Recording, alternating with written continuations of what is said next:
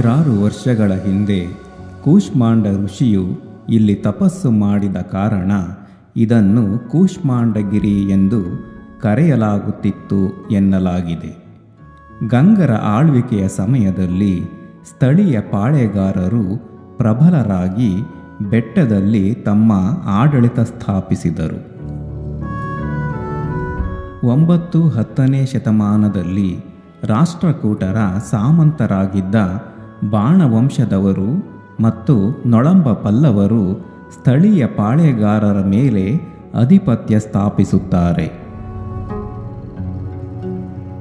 ಹನ್ನೊಂದನೇ ಶತಮಾನದ ಆರಂಭದಲ್ಲಿ ಚೋಳರು ಈ ಪ್ರದೇಶವನ್ನು ಆಕ್ರಮಿಸಿಕೊಂಡರು.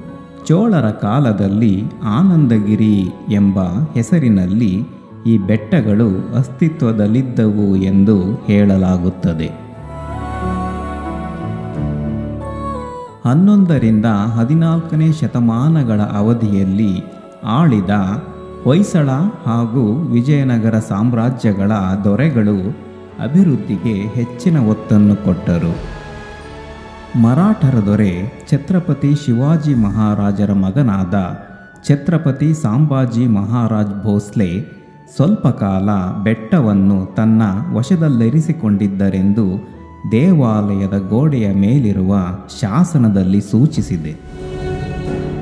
ಒಂದು ಸಾವಿರದ ಏಳ್ನೂರ ಎಪ್ಪತ್ತರಲ್ಲಿ ಈ ಗಿರಿಧಾಮವು ಮೈಸೂರಿನ ಹೈದರಾಲಿ ವಶಕ್ಕೆ ಬರುತ್ತದೆ. ಹೈದರಾಲಿ ಮತ್ತು ಅವರ ಮಗ ಟಿಪ್ಪು ಹಳೆಯ ಕೋಟೆ ಗೋಡೆಗಳನ್ನು ಬಲಪಡಿಸುತ್ತಾರೆ. ಒಂದು ಸಾವಿರದ ಏಳ್ನೂರ ತೊಂಬತ್ತೊಂದರಲ್ಲಿ ಲಾರ್ಡ್ ಕಾರ್ನವಾಲಿಸನು ಈ ಬೆಟ್ಟವನ್ನು ತನ್ನ ವಶಕ್ಕೆ ಪಡೆಯುತ್ತಾನೆ. ಇಂತಹ ರೋಚಕ ಐತಿಹಾಸಿಕ ಹಿನ್ನೆಲೆ ಹೊಂದಿರುವ ಅತ್ಯಂತ ಜನಪ್ರಿಯ ತಾಣವೇ ನಂದಿ ಬೆಟ್ಟ.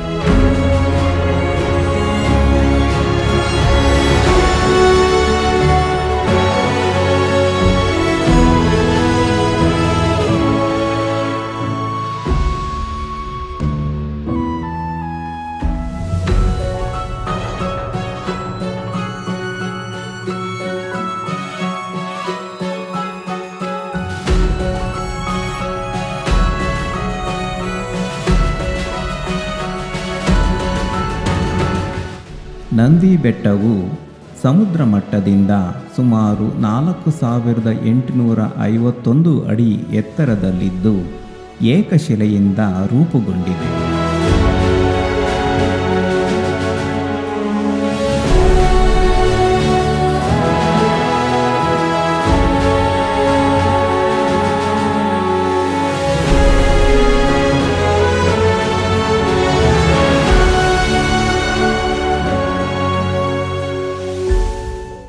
ಗಿರಿಧಾಮದಲ್ಲಿ ಪಾಳೆಗಾರರು ರಾಜವಂಶಗಳು ಮತ್ತು ಬ್ರಿಟಿಷ್ ಆಳ್ವಿಕೆಯ ಹೆಗ್ಗುರುತುಗಳಾಗಿ ಇಂದಿಗೂ ಗತಕಾಲದಲ್ಲಿನ ಕೋಟೆಗಳನ್ನು ಕಾಣಬಹುದು.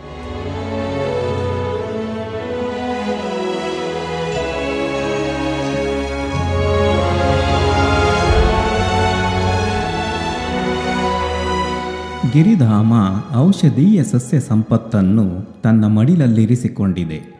ಈ ಗಿರಿಧಾಮವು ಉತ್ತರ ಪಾಲಾರ್, ದಕ್ಷಿಣ ಪೆನ್ನಾರ್, ಚಿತ್ರಾವತಿ, ಅರ್ಕಾವತಿ ಮತ್ತು ಪಾಪಾಗ್ನಿ ನದಿಗಳ ಉಗಮ ಸ್ಥಾನವೂ ಹೌದು.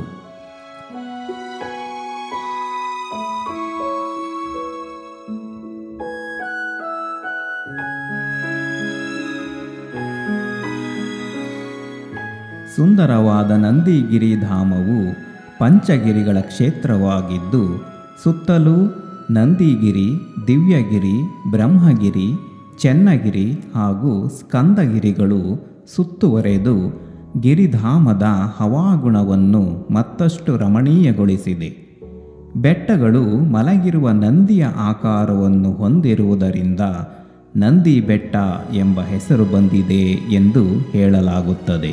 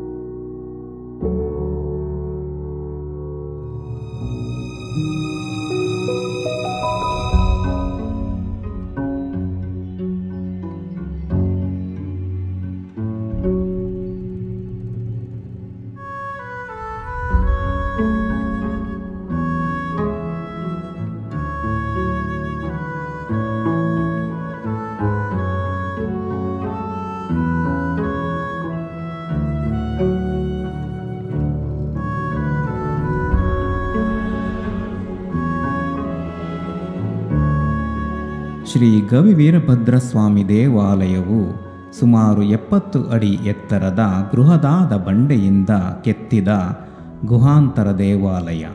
ಹನ್ನೊಂದನೇ ಶತಮಾನದಲ್ಲಿ ಹೊಯ್ಸಳರು ಈ ದೇವಾಲಯವನ್ನು ನಿರ್ಮಿಸಿದ್ದಾರೆಂದು ನಂಬಲಾಗಿದೆ. ಈ ದೇವಾಲಯದ ಗೋಡೆಯ ಮೇಲಿನ ಶಾಸನವು ಒಂದು ಸಾವಿರದ ಮುನ್ನೂರ ತೊಂಬತ್ತೇಳರಲ್ಲಿ ಕನ್ನಪ್ಪರಾಯನ ಮಗ ದೇವರಾಯನು ಈ ದೇವಾಲಯದ ಪ್ರವೇಶ ದ್ವಾರಕ್ಕೆ ಬಾಗಿಲನ್ನು ದಾನ ಮಾಡಿದನೆಂದು ಉಲ್ಲೇಖಿಸುತ್ತದೆ.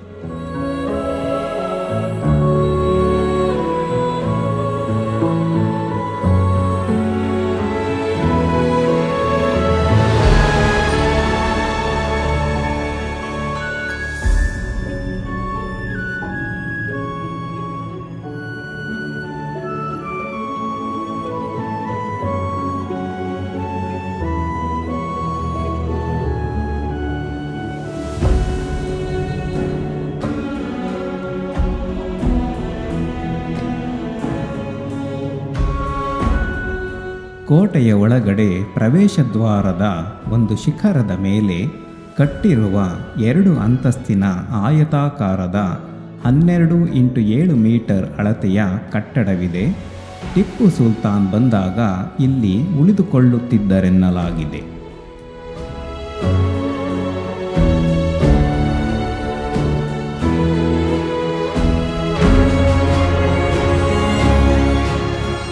ಅಮೃತ ಸರೋವರವು ನಂದಿ ಬೆಟ್ಟದಲ್ಲಿರುವ ಜನಪ್ರಿಯ ತಾಣಗಳಲ್ಲಿ ಒಂದು.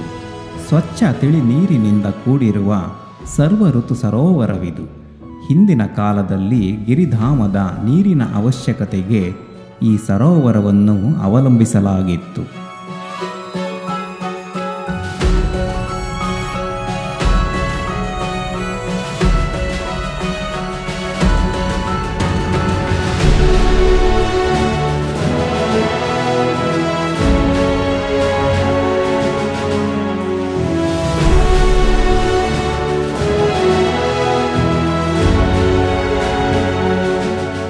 ಶ್ರೀ ನೆಲ್ಲಿಕಾಯಿ ಬಸವಣ್ಣ ಹತ್ತು ಅಡಿ ಉದ್ದ, ಆರು ಅಡಿ ಎತ್ತರದ ಚೋಳರ ಶೈಲಿಯಲ್ಲಿ ಕೆತ್ತಿರುವ ಸುಂದರವಾದ ನಂದಿ ಶಿಲ್ಪ.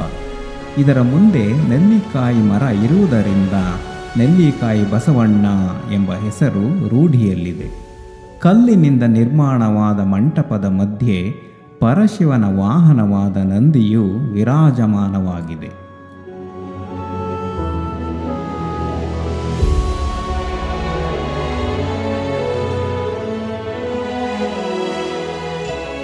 ನಂದಿ ಬೆಟ್ಟದಲ್ಲಿ ಭಗವಾನ್ ಶಿವನಿಗೆ ಸಮರ್ಪಿತವಾದ ಎರಡು ಪ್ರಾಚೀನ ದೇವಾಲಯಗಳಿವೆ.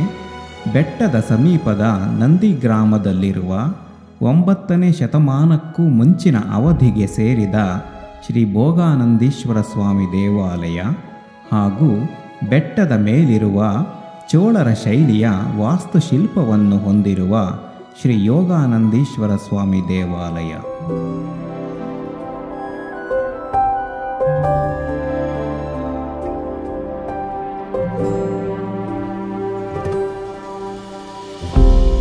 ಇತಿಹಾಸದೊಂದಿಗೆ ಬಲವಾದ ಸಂಪರ್ಕವನ್ನು ಹೊಂದಿರುವ ನಂದಿ ಬೆಟ್ಟ ಬೆಂಗಳೂರಿನ ಸಮೀಪದಲ್ಲಿರುವ ಅತ್ಯಂತ ಜನಪ್ರಿಯ ಪ್ರೇಕ್ಷಣಾ ಸ್ಥಳ.